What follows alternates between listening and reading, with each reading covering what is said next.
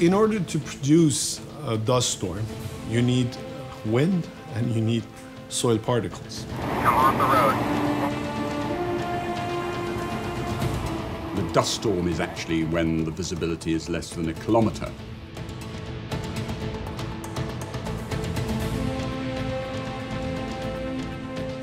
About to be engulfed. During the dust storm season, patients get severe attacks of asthma that require hospital admission and intensive care.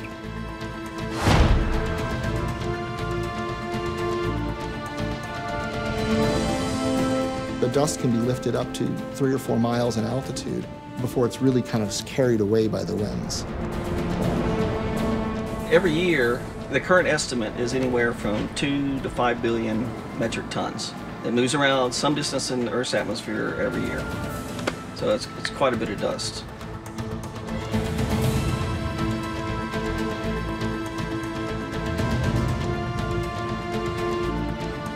I think the fact that we can see these impacts so far away is really exciting. So in the rainforest, many of the plants derive their nutrients and are fertilized from dust.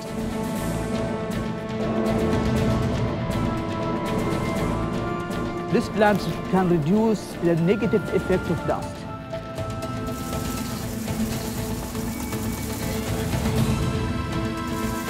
So this is the sand and dust storm warning and assessment system for Northern Africa, Middle East and Europe.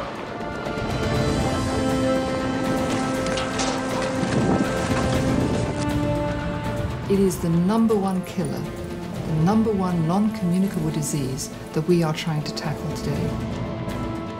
If it's coming your way, it's a case of are you going to be suffocated?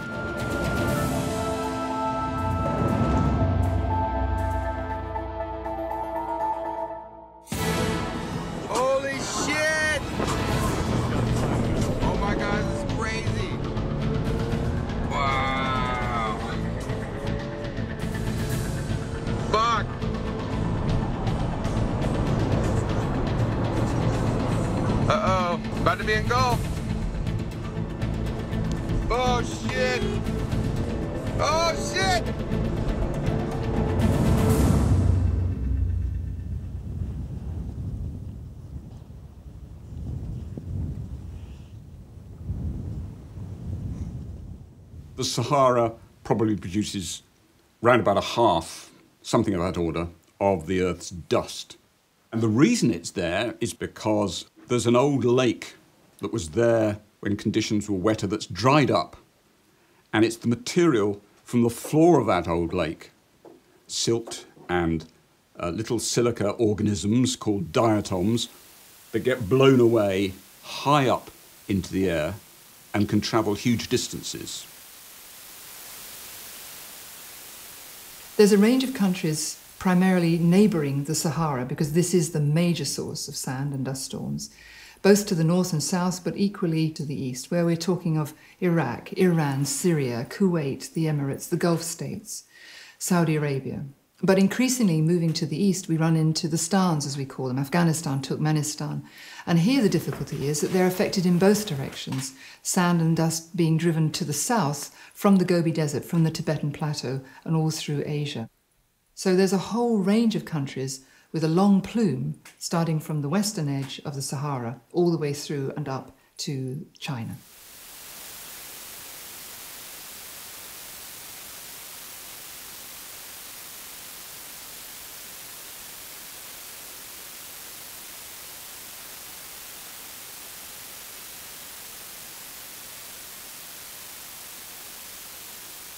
The science behind dust storms is fascinating. We think that 20 to 25% could be attributed to human activity. So, something called the Dust Bowl syndrome, which is associated with poor land management, where the topsoil becomes aerosolized, like tiny, tiny little aerosols, which means that the slightest amount of energy or wind can lift up the soil and effectively take those topsoils many thousands of kilometers. Clouds, rolling seas of anger move across vast territories and drop their tragic burden of burning dust.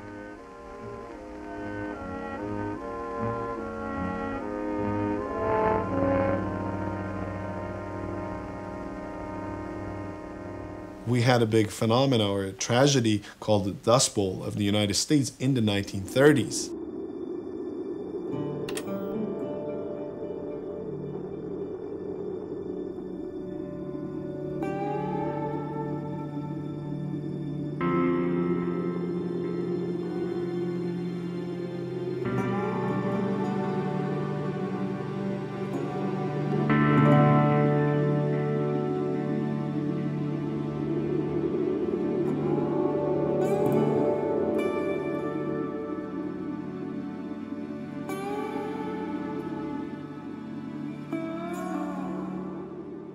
Did it happen? Some unusually wet period made people think that water is available and you can plow anywhere you like and, and water would follow. And this was the dominant thinking. The Dust Bowl primarily was due to a drop in rainfall in the area. At the same time, the human population was migrating and using that area for agricultural purposes. And they were doing strip farming of the topsoils and then leaving them exposed.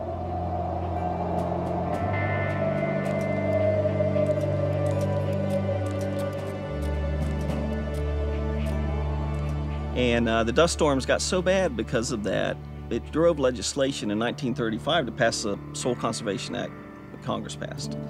And that prohibited that type of farming. The, the big driver of why the severity of the dust storms dropped over time was because it started raining again. The Americans instituted various things like shelter belts and windbreaks, which really dampened down the dust storm activity in the 1940s and onwards. And that does show that we can do something about it if we wish in the right circumstances.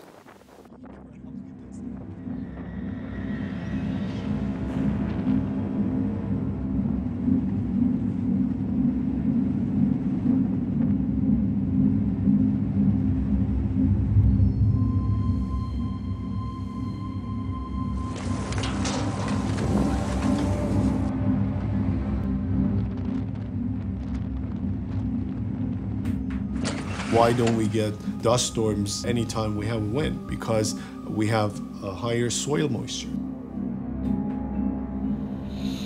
So soil moisture acts like a glue. It, it keeps these soil particles um, connected to each other so the wind cannot lift them. As soon as you lose the moisture, you disconnect these particles and these particles um, are blown away easily whenever you have a wind. So when you have a drought, when you have stronger winds, and when you lose your soil moisture, you have a dust storm.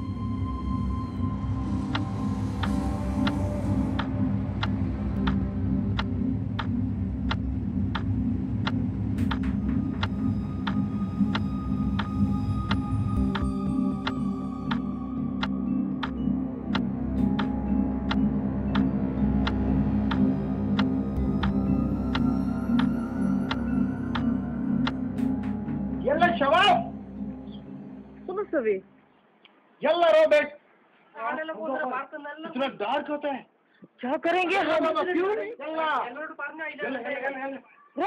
We have seen in Middle East and in, in North Africa more and more frequent dust storms, and one of the reasons is that water resources uh, in the region have become more scarce.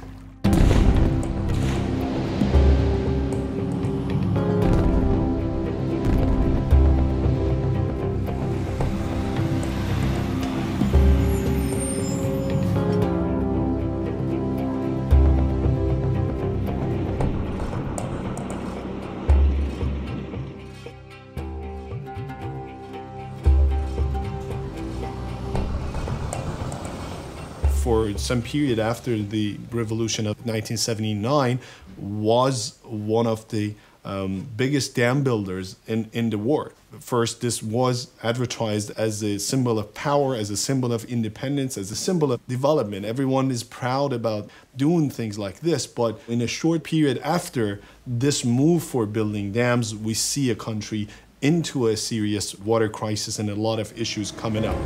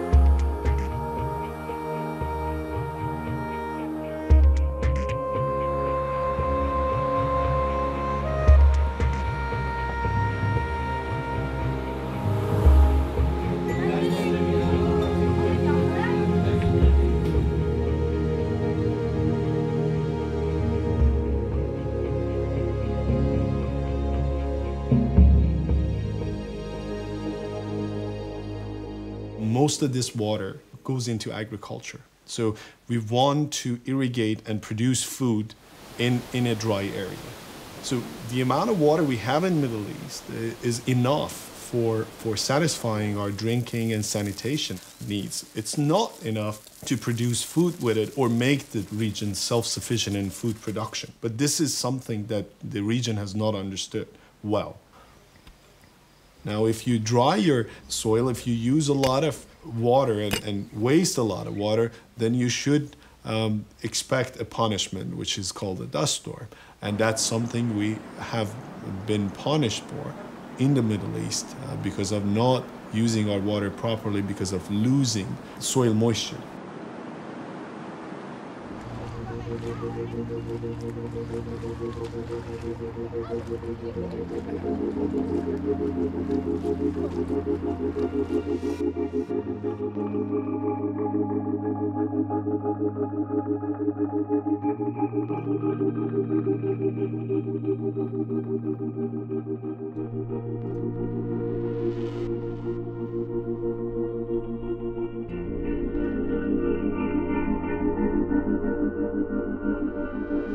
Urumia is a, is a good example of a modern um, environmental tragedy that um, was created by humans. We had a salt lake, which was one of the largest in the, in the world.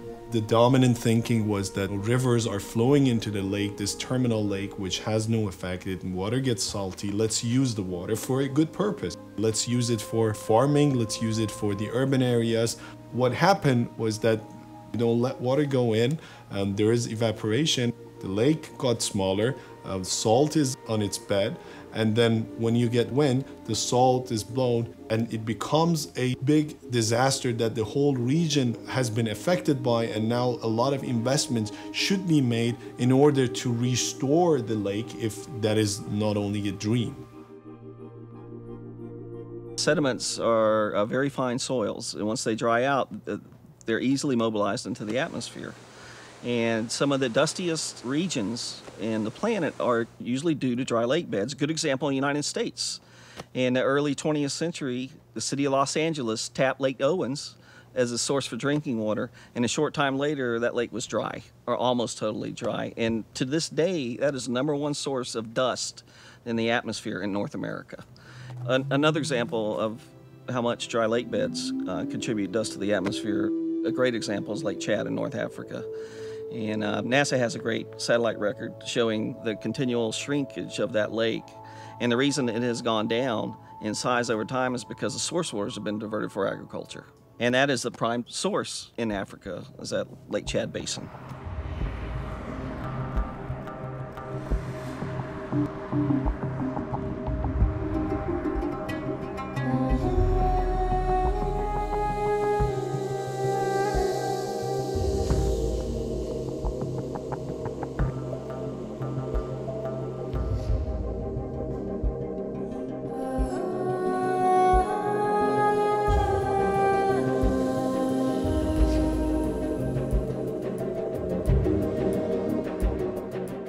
One of the worst, in fact, in the region. Most of the uh, uh, trajectories of dust storms are passing through Kuwait.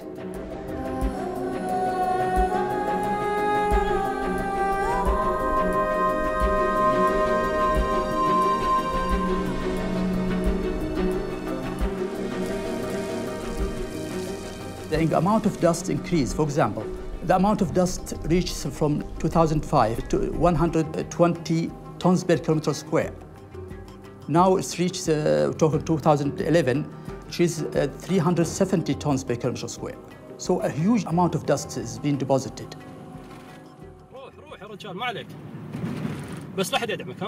They have a great impact on human health. It's very bad for you to breathe in fine silica dust. Uh, it carries allergens, which can, you know, be fungal spores or bacteria, which can affect you and cause hospital admissions or even death.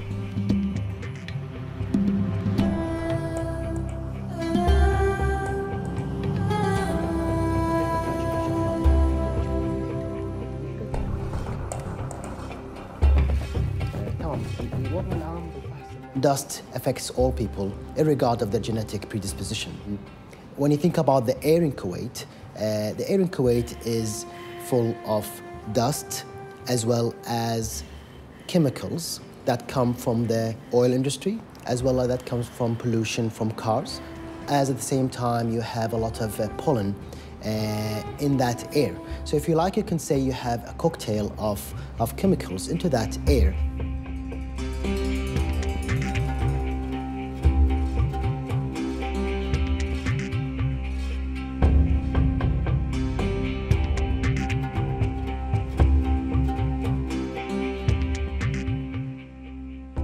During the dust storm season, the number of patients visiting our clinic increase to double the usual day. And some of them, they get severe attacks that requires hospital admission and intensive care.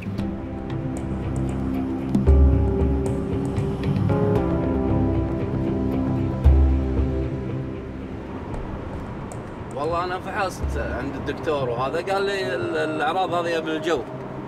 وهو اللي يأثر علي بالضيق التنفس ما أقدر أتنفس صوتي يطلع صوت أحس بضيق تنفس يعني حاد يعني مو طبيعي.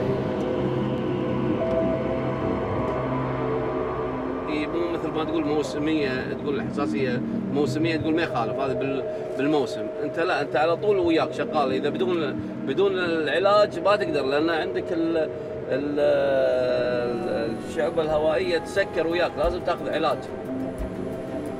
لازم تاخذ علاج عشان تبطل وياك. ولا بتظل مسكرة وياك إذا ما تستعمل العلاج.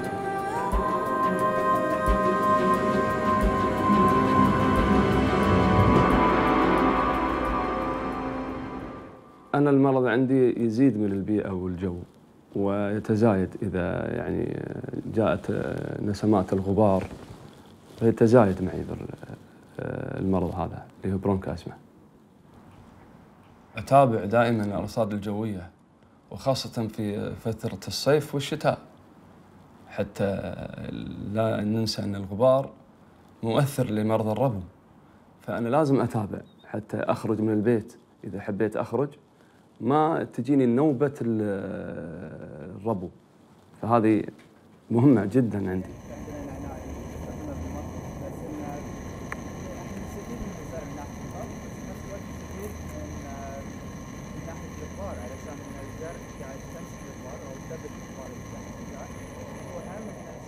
إحنا الحين المنطقة السكنية وإذا تشوفون البراحل يمنا تحسون كأنكم بصحراء. الحين بيتنا فما قدرنا نسوي شيء غير ما نحط ال- ال- الحاجز اللي هنا وهم جربنا نزرع زرع زيادة على الأرض الفاضية اللي هنا. عندنا أنواع الشير وأنواع الزرع. وهالزرع نقدر يعني حتى عندنا نعناع نستخدمه بالمطبخ بس انه إحنا نستفيد من هالزرع من ناحية الطبخ بس بنفس الوقت نستفيد من من ناحية الغبار علشان إن الزرع قاعد تمسك الغبار أو تثبت الغبار اللي تحت بالقاع. وهم إن الشير قاعد تحمينا شوي من الغبار وقت العاصفة أو وقت شيء كذي. فإحنا ما نحس فيه كثر ما كثر ما هو صدق موجود بال- بالهواء. يعني عندنا نافورة بالبيت وصدق إنها هي زينة بس بنفس الوقت الماي يعني يمسك أو, أو خلينا نقول إنه قاعد يشفط شوية الغبار بس أهم شيء اللي راح تشوفونه بكل بيت كويتي تقريبا الشترات هالشتر أهم شيء بالبيت علشان هالشتر أكثر شيء اللي يقدر يحميكم من الغبار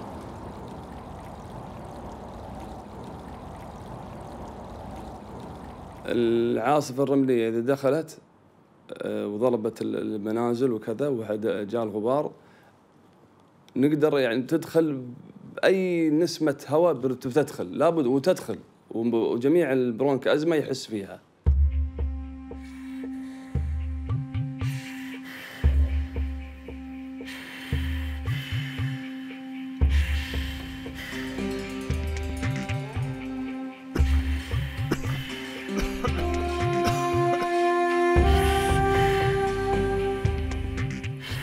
7 million people dying prematurely because of air quality, much of which is a complex mixture of dust that has got pollutants carried with it, means that it is the number one killer, the number one non communicable disease that we are trying to tackle today.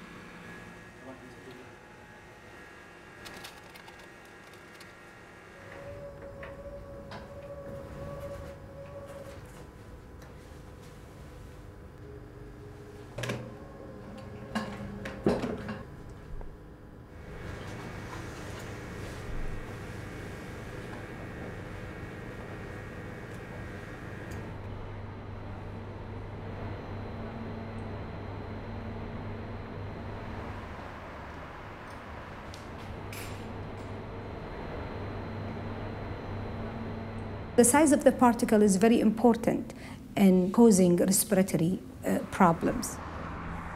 85% of dust size in Kuwait is 10 micrometers, and that's the size that usually cause respiratory complaint and exacerbation of asthma.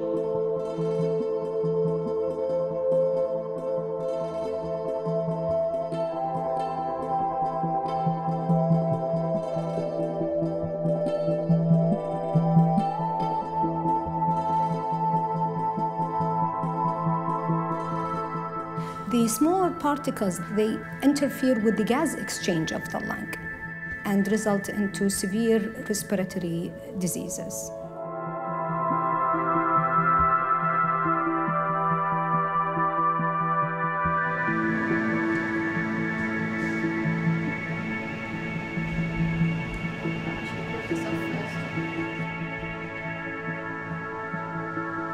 What we're looking at now is the dust under a scanning electron microscope.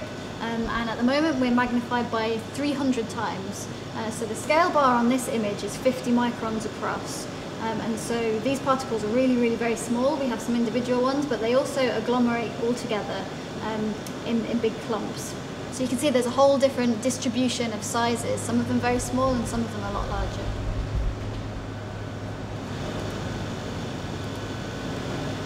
Okay, so this is our elemental map of everything that's in the dust. So I'm just going to open it up and we'll have a look at the individual elements.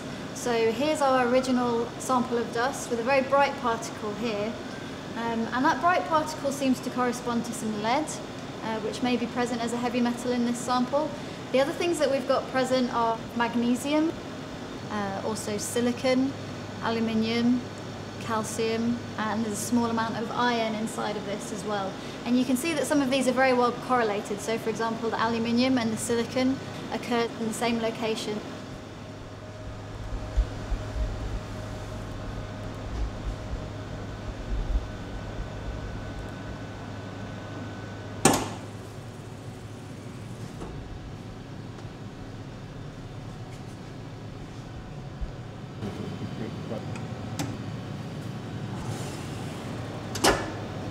So this is the diffraction pattern uh, from the dust sample and what we've been able to identify are four different phases and these are gypsum which is calcium sulfate, there's also calcite which is calcium carbonate, there is quartz which is probably the main phase that's present in this material and also a very small amount of a type of mica called muscovite which is a clay material.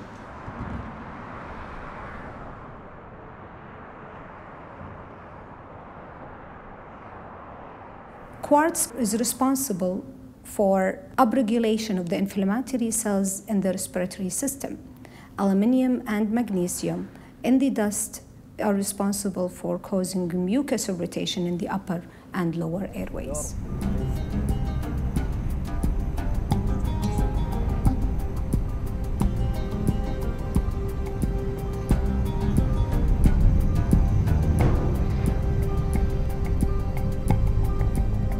Well, you go out into the desert and you know you, you look at you, you see a lot of dirt in, in topsoil, and you and you don't see any growth, no trees, no brush, no anything, and you think it's sterile.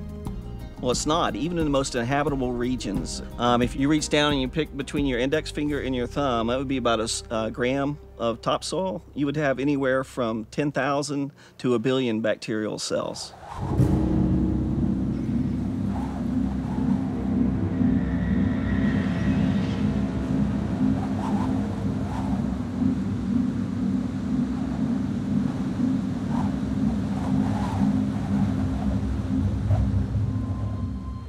Four, three, two, one.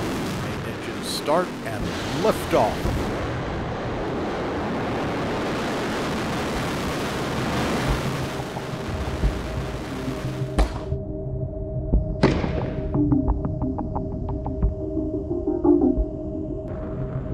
people didn't understand the intensity and how far these storms could move until we had satellite imagery. NASA has over 20 Earth observing satellites that are monitoring constantly different components of the energy and water and carbon cycles. Using satellites, we're able to get a, a global picture of the land surface and different components of the land surface. For example, you can monitor the type and amount of vegetation. In addition, you can also tell how wet the uh, soil is uh, by using microwaves. So if you know how wet the surface is, then you have a better idea of, of the intensity and duration and locations of potential dust storms.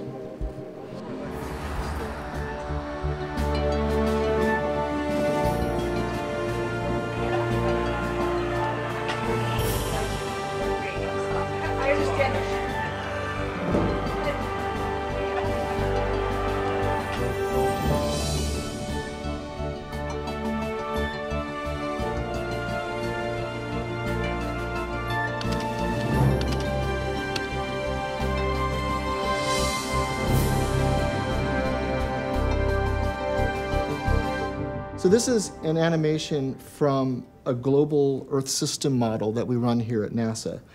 Um, what we're simulating in this are the distributions of what we call aerosols, or particles in the atmosphere.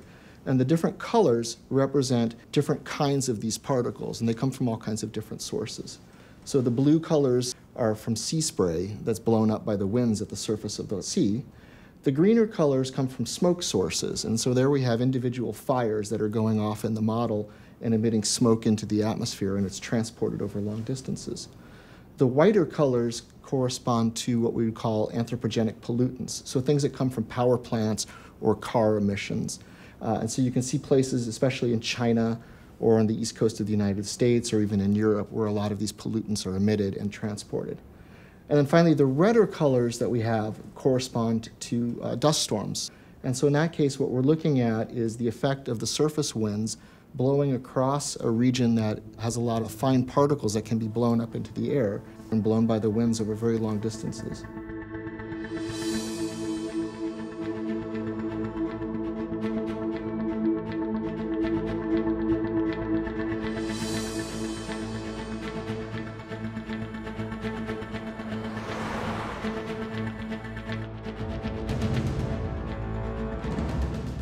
So this is so this is the time series of, of from the MODIS Terra satellite. We are trying to create global observations of aerosol. These are not models. These are based on camera-like images. How it works is satellites measure light reflected from the Earth. And you can see that there's places on the globe where you see lots of aerosol, which is a bright orange color. And you can see the hotspots around the globe. You see the dust in, in Africa, biomass burning in the Amazon, what we don't have from the satellite is exactly what it's made out of. You can get a sense of what kind it is, if it's dust, smoke, pollution.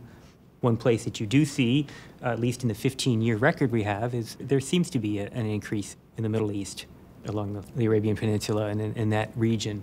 And it seems to be a significant increase.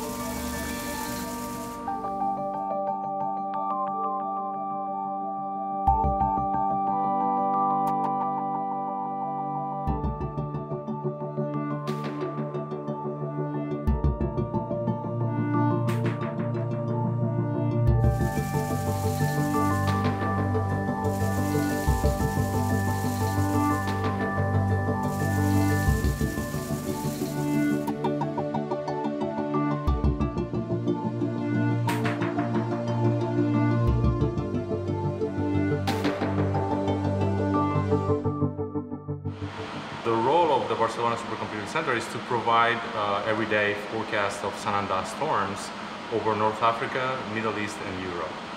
The dust storm or the dust forecasting uh, is very similar to a weather uh, forecasting, precipitation, but also uh, the wind regimes, right? You know, based on different meteorological scenarios. If you have more wind or less wind, you're going to have more or less dust depending on these anomalies. Basically what we're producing now are three-day forecasts.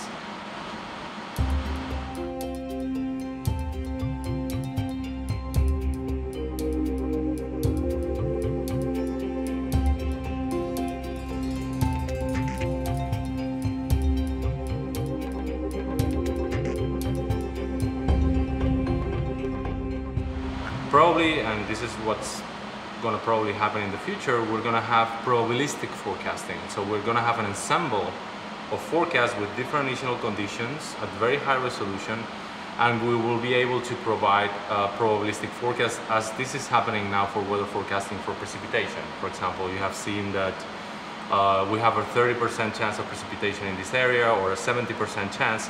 So that, that's the idea also with uh, dust storms in the future, particularly these uh, storms that are really um, very difficult to, to capture, which are the, the finer scale, but that can be particularly intense. In fact, our dust forecast requires even more computing time that a weather forecast would, would require. Uh, it's only by having a machine like the one we have behind us that we can afford performing the best dust forecasts. And uh, not only the dust forecasts themselves, but the archiving and the management of the uh, data that is being produced, which is in the order of gigabytes uh, of, of data every single day.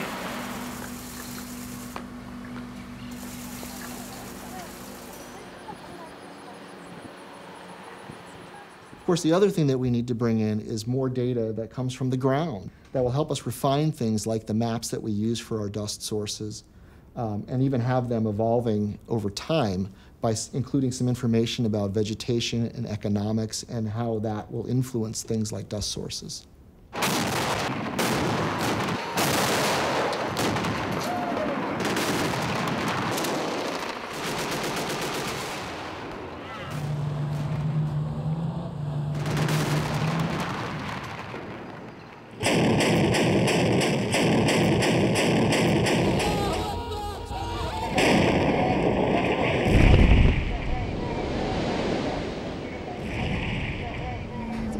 That we have in our region is the conflicts, the instability, and the ongoing violence and terrorism.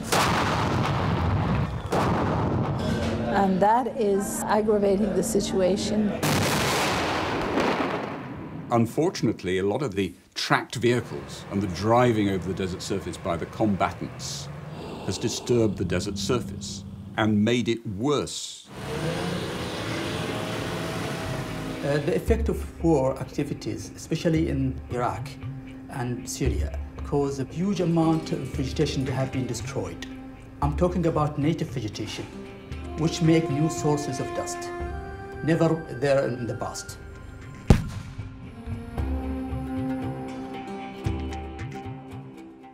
If we have a dust storm generated in a place like Syria and Iraq, it is very different from a dust storm which is generated from a place like Oman or UAE because in places like Iraq and Syria we have had conflicts for years so we have toxic elements which could be attached to the surface. Dust moves many thousands of kilometers and in moving picks up all kinds of what we would call legacy chemicals it could be depleted uranium, it could be pesticides, it could be hazardous chemicals, heavy metals, contaminants. And the dust itself becomes like a small nucleus. It attracts and sticks together and brings pollutants together. So as those big areas of dust get lifted and moved, they become part of the ambient air quality problems that many cities have.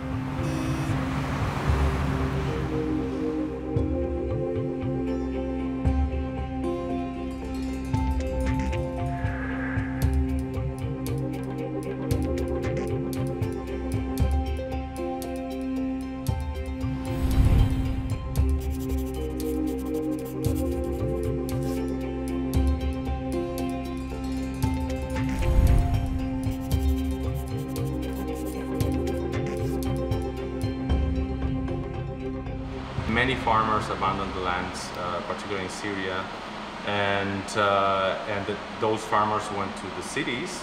Uh, so there's a lot of land abandonment as well. This creates wind erosion in what we had before as agricultural fields. These are now exposed to wind erosion. Syria wasn't before a source area. Now it's a huge area of dust also the area between Zagros Mountains and, uh, and Tigris River, we found a huge amount of, because this was uh, affected by war activities, multiple war activities. So drained farms and uh, abundant farms became a huge source of dust, in fact, from this region.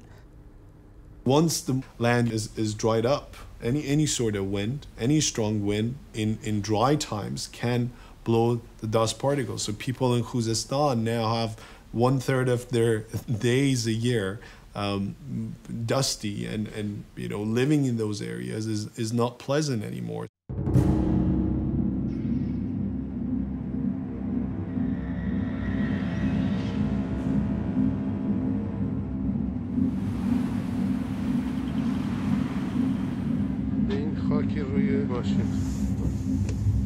Marshlands in southern Iraq are adversely affecting our western, southwestern cities like Ahvaz.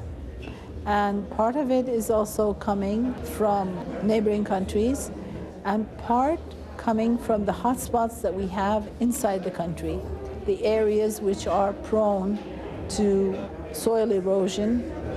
We've been witnessing a steady increase in the number of incidences, but also in the intensity of dust storms, maybe in the past two decades. And so it's not only affecting our border cities, but now sometimes the dust storms are moving ahead into the capital, Tehran.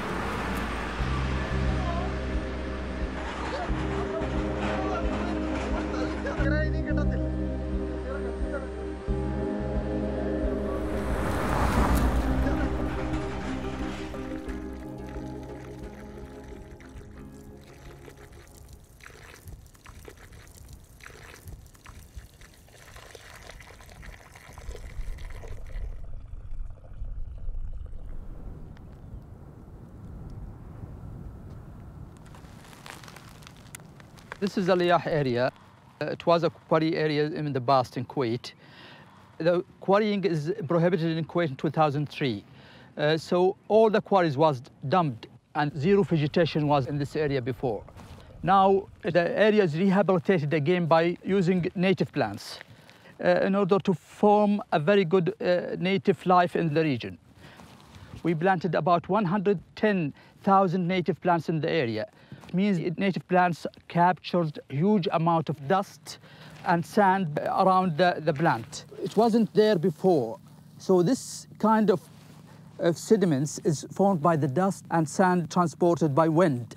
It contains a lot of nutrients. It reaches up to 9% of organic matter inside it. This plant, for example, we see it, uh, its common name is called al-qirdi. It's a very good one, in fact, in capturing the sand. Uh, another plant, in fact, we see it here. This one is another plant called Lycium shawi. This, this Aeolian sediments, it wasn't there before. So this plant capture that amount of sand and Aeolian, Aeolian dust and uh, can reduce the effect, the negative effect of dust. Native plants is a major solution, in fact. Let's give an example, Haloxylon salicornicum as a plant. It can control up to 10 cubic meter of sand and dust. This is a single plant. What if it's thousands of plants?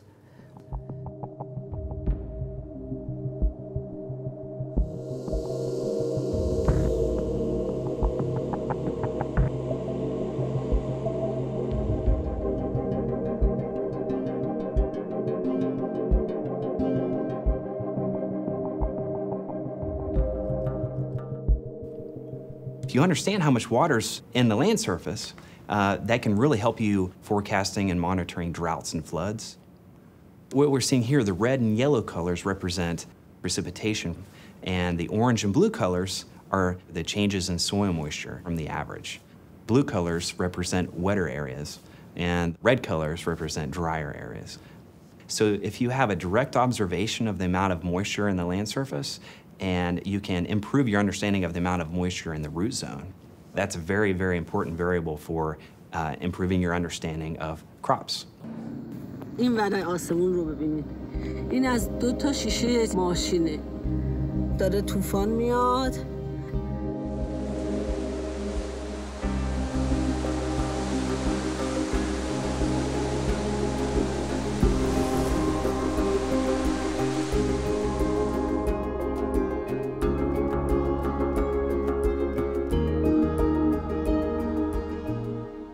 provides a map with details of dust concentration in the Middle East and North Africa.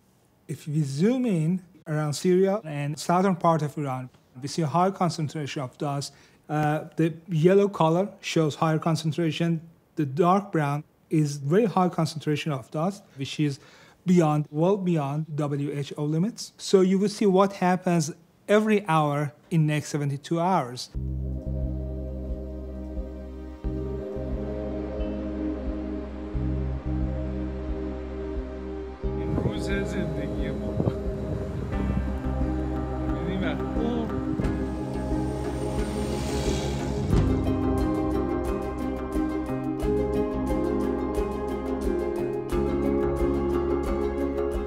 There's some very positive impacts from dust storms blowing around the planet.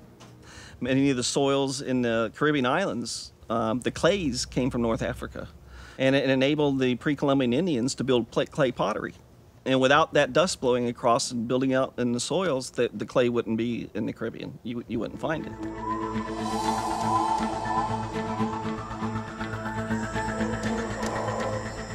Some of the rainforest from North Africa, the dust blows over, it goes into South America during the nor- uh, Northern Hemisphere's winter. It moves down in there, and many of the plants derive their nutrients and are fertilized from dust. And, and the same with Asian dust blowing across fertilizes some of the northern Hawaiian island rainforests and sustains them. So there's some very positive things.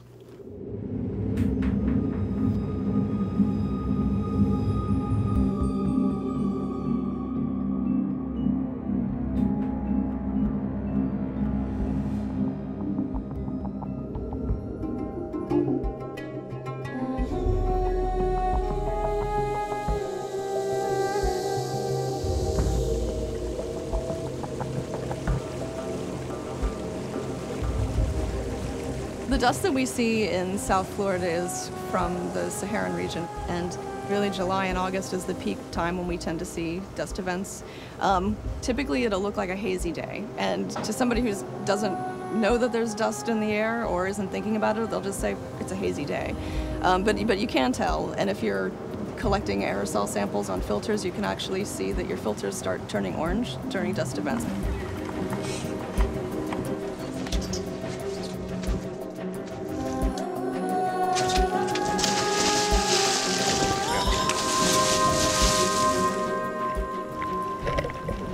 The economy of the Florida Keys is almost entirely based on having a healthy coral reef, whether it's because um, commercial or, or recreational fishers are going out to the reef and that's where the, the fish stocks are, or because of diving and having a picturesque place to be in the water.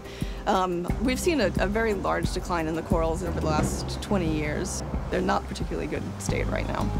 The dust might be involved in the deterioration, at least it's a hypothesis that we have. So we collect a variety of water samples. We collect samples from just below the surface, um, usually just grab samples in bottles, and then we'll process them in a variety of ways. We'll filter them, so we'll take larger volumes and filter them down into small, usable volumes that we can concentrate to look for nutrients or trace metals or, or microbes. Well, we're looking for a number of things. So we're looking at changes in water chemistry. As the dust is deposited, we're looking at changes in the amount of trace metals that are there, especially iron, which is very limiting in marine waters, and there's a lot of organisms that require iron to grow.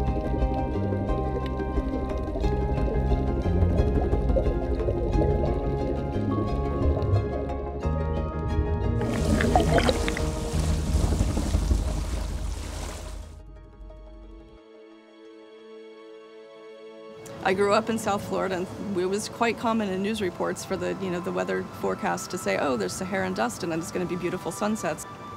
That was my image of Saharan dust.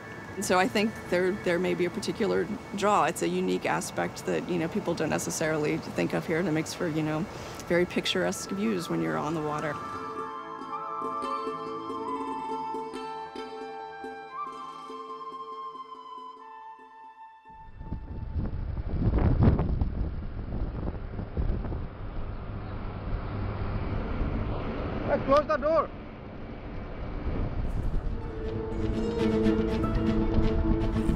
Very good in developing technologies, launching satellites and, and doing things, but when it comes to policies, many times we, we act stupidly. We, we become stupid. We don't understand the realities on the ground or we don't care about the long-term consequences of our policies. Very, very clearly, desertification is something that we need to tackle at a very local level. And it's mundane things, planting trees, using proper irrigation, making sure that we have a vegetative cover that avoids the aerosolization of the topsoil. Of course, dust is a natural phenomenon. It's always going to be there. We're going to have the natural desert. It's going to blow up dust. It's going to transport this dust over different regions. But we can do a lot with land conservation practices. They still have some dust storms in the US, but not of that size because they have better land management practices. The same has to happen in the Middle East. This is a multinational uh, problem and it needs a multinational solution. So countries in the region have to come together and solve this problem.